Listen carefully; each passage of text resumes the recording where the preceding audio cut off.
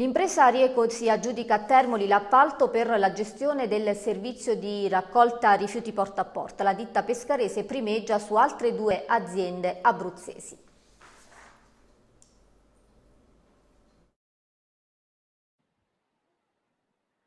Cambia gestione a Termoli il servizio porta a porta di raccolta differenziata dei rifiuti.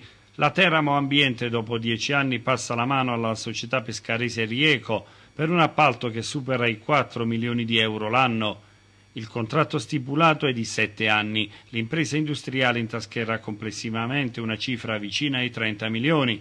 La stessa ditta abruzzese ha presentato un'offerta per lo stesso servizio nei nove paesi che costituiscono l'Unione dei Comuni del Basso Molise, da Guglionesi a Campomarino, da Montecilfone a Dururi.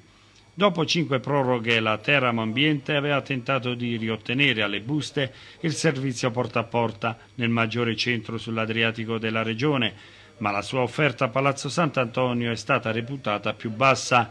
Non ce l'ha fatta neanche la Tecneco di Avezzano, la terza azienda interessata all'appalto, che fra l'altro a fine aprile lascerà il Molise per la gestione del servizio di raccolta differenziata con l'Unione dei Comuni del Basso Biferno.